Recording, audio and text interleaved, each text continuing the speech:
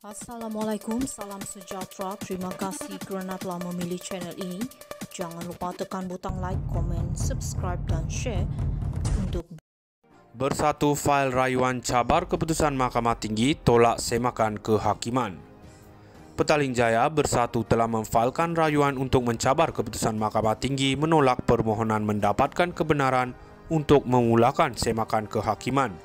Berhubung keputusan Speaker Dewan Rakyat Johari Abdul untuk tindak mengisytiharkan kerusi empat ahli Parlimen Sabah kosong. Program Cetan Jetwani berkata notis rayuan difailkan pada 17 November.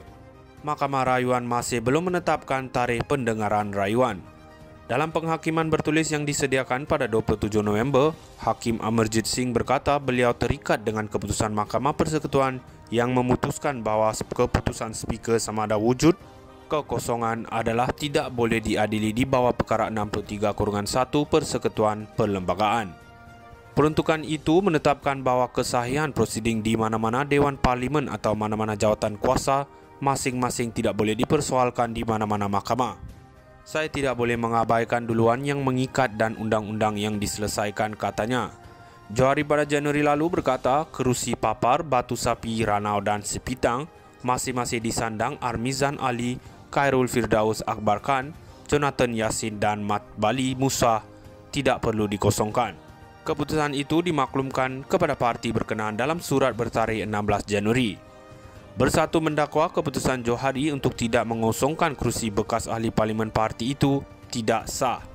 Empat ahli parlimen itu dipilih atas tiket gabungan rakyat Sabah GRS pada PR15 manakala bersatu adalah sebahagian daripada GRS. Bagaimanapun, selepas PR15, GRS menggugurkan Bersatu sebagai ahli gabungan. Naib Presiden Bersatu Ronald Kiandi sebelum ini dilaporkan berkata parti itu telah mengeluarkan notis pemberhentian kepada empat ahli parlimen itu pada 21 Disember 2022. Beliau berkata ini kerana mereka telah duduk bersidang di blok kerajaan semasa persidangan Dewan Rakyat pada 19 Disember tahun lepas. Kiandi mendakwa ini telah mencetuskan perkara 49A Perlembagaan Persekutuan yang menyatakan bahawa ahli parlimen akan kehilangan kerusi mereka jika mereka berpindah ke parti lain kecuali jika mereka dipecat oleh parti atau jika ia dibubarkan atau dibatalkan pendaftaran. Bersatu mahu Mahkamah Tinggi membatalkan keputusan Johari dan memerintahkannya mengistiharkan empat kerusi itu kosong.